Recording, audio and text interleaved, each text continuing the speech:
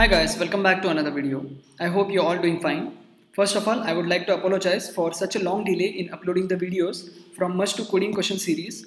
So from today onwards, I'll be uploading the videos regularly as well as I'll make sure to complete the series as soon as I can. So our today's video or our today's question on linked list is flattening a linked list, which states that given a linked list of size n, where every node represents a sub-linked list and contains two pointers, the first one is a general next pointer and we have an additional bottom pointer.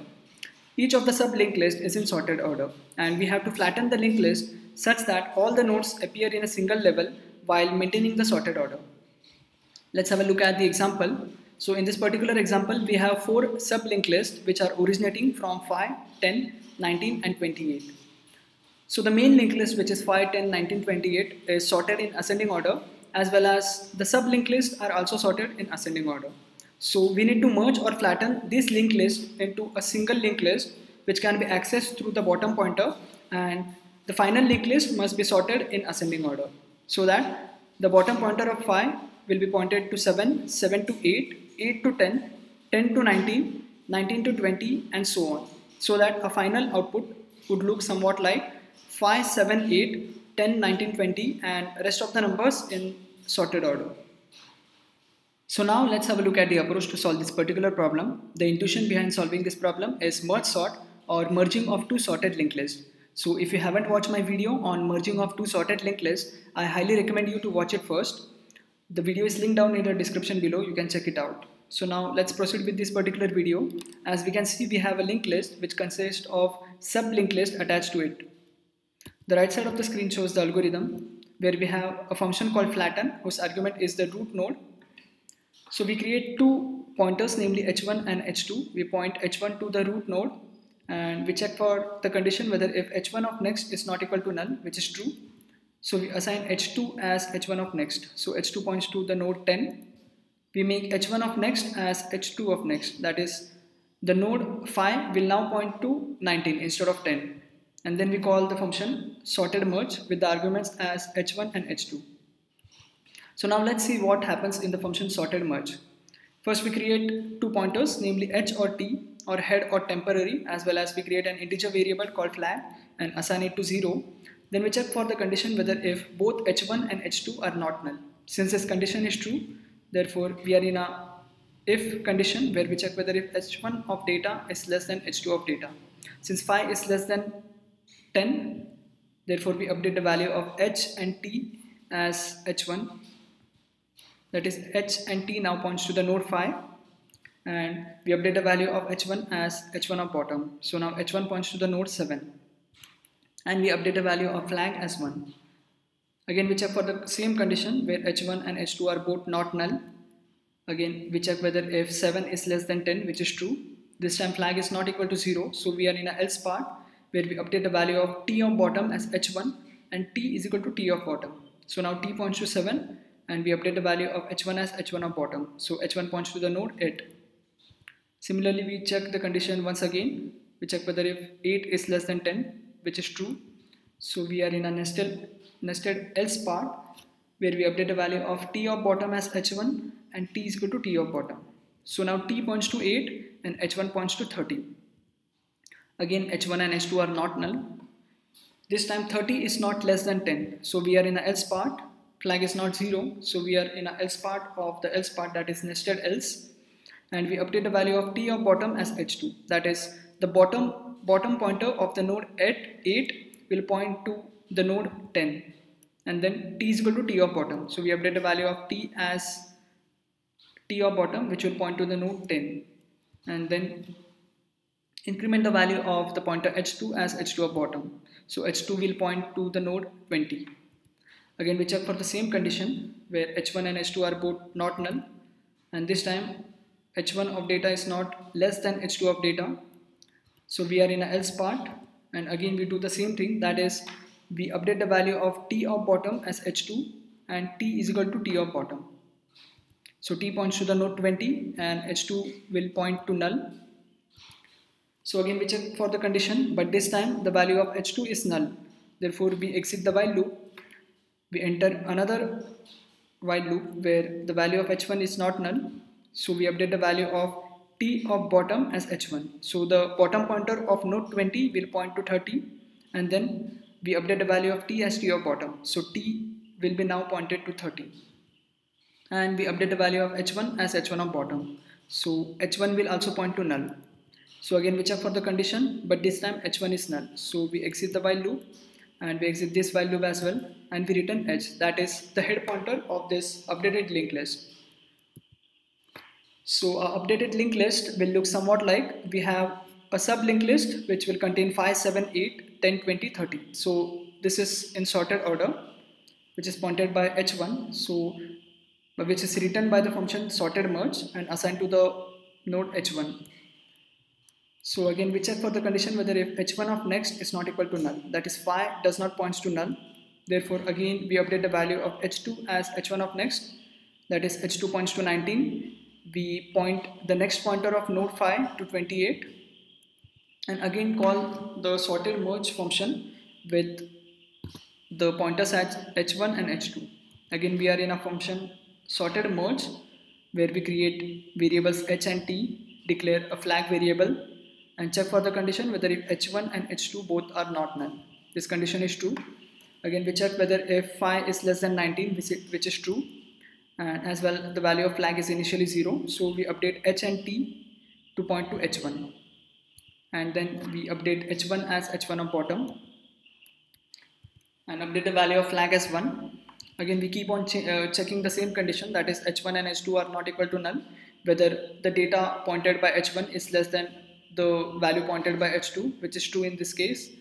So we update t of bottom as h1 and t is equal to t of bottom. So we keep on doing this until we encounter a value which is not less than it. that is h1 of data is not less than h2 of data. So in this case h1 of data is not less than h2 of data. So we are in a else part. We update t of bottom as h2 that is the node 10 the bottom pointer of node 10 will now point to node 19 and t will be updated to 19 as well as h2 will be updated to h2 of bottom that is it will point to 22 and again we check for the same condition where h1 of data is less than h2 of data that is 20 is less than 22 therefore we update t of bottom as h1 that is the bottom pointer of 19 will point to 20 and t will be now pointed to 20 as, as well. So h1 will be now pointed to h1 of bottom that is 30. Again we check for the same condition. Uh, this time h1 of data is not less than h2 of data. So we are in a else part.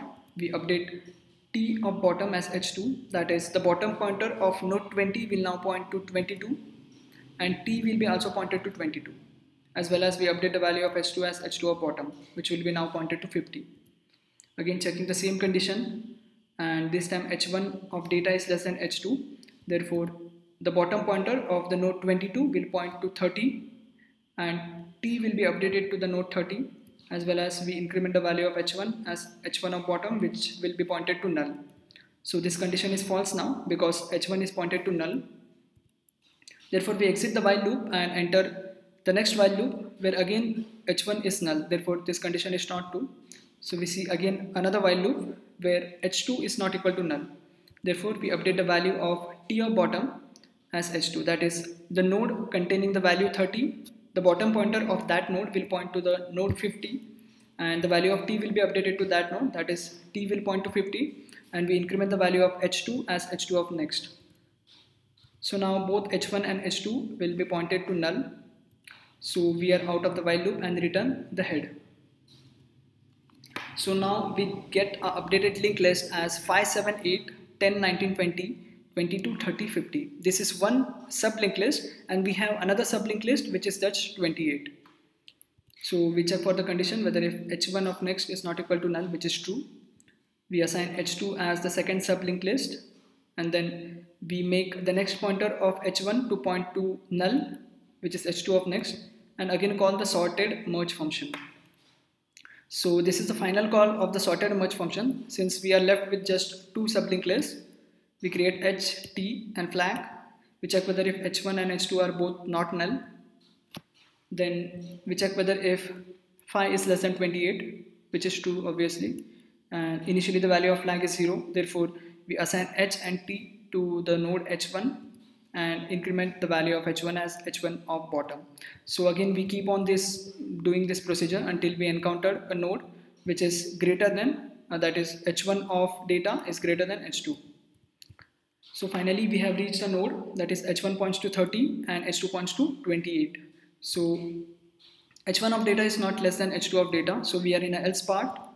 We update t of bottom as h2 that is the node 22 will now point to 28 and the value of t will be updated to 28 and then h2 will point to null. So again we check for the same condition. But since h2 uh, was pointed to null therefore we exit the while loop and we enter another while loop where we check whether if h1 is not equal to null. Since h1 is not equal to null therefore we update t of bottom as h1 that is the node 28 the bottom pointer of 28 will point to 30 and t will be updated to 30 and we increment the value of h1 to 50 and this will continue again. And h1 will be now pointed to null. So this condition fails. We exit this while loop as well and finally return h. So a final linked list will look somewhat like this where uh, we have assigned the value of h1 to the new linked list that is head of the new linked list. And we check whether if h1 of next is not equal to null. But in this case h1 of next is null Therefore, we exit the while loop and return our head pointer, which is h1. So now let's have a look at our actual code. The driver code is already given and we just need to complete the function flatten whose argument is the root of the linked list or head of the linked list. So initially we check whether if root is equal to null, if so we return null, else we create two temporary head pointers which are head 1 and head 2 which are used to point to the sub linked list. We point head 1 to root, then we have a while loop where we check whether if head 1 of next is not equal to null that is for any sublink list if we do not have any succeeding sublink list then we exit the while loop. Else we assign head 2 as head 1 of next and we point the next pointer of head 1 to the next pointer of head 2 and call the sorted merge function with the arguments as head 1 and head 2 and the return value will be stored in the pointer head 1 in the sorted merge function we declare two node node pointers namely temp and head as well as an integer value called flag which is 0 we have the while loop where we check whether if head 1 and head 2 are both not null and we check whether if the data pointed by head 1 is less than data pointed to head 2 uh, in that case we have the code written in the if part else we have the code in the else part. In both the cases we first check whether if flag is equal to 0 if so then in the first case we assign head and temp to head 1 and in the second case we assign head and temp to head 2 uh, in else part of the both the cases we make bottom pointer of temp to head 1 similarly bottom pointer of temp to head 2 and then temp is equal to temp of bottom which is same in both the cases. And in the case 1 we increment or we update the value of head 1 as head 1 of bottom and in the second case head 2 as head 2 of bottom. And initially since the value of flag is 0 then we update the value of flag as 1 and after the while loop uh, there might be a case where the head head 2 pointer uh, will be null but head 1 is still not null. In that case, we have two separate while loops which check for that condition where if head 1 is not equal to null, we, we do the same procedure that is temp of bottom is equal to head 1, temp is equal to temp of bottom and head 1 is equal to head 1 of bottom. The same is in case of this where instead of head 1 we have head 2 and finally we return the head. So we can compile a code now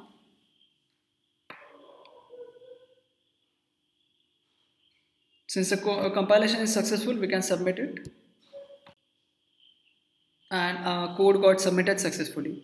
So if you found the video helpful, do hit that like button and subscribe to my YouTube channel for more such upcoming videos on must do coding questions for interview preparations. Thank you.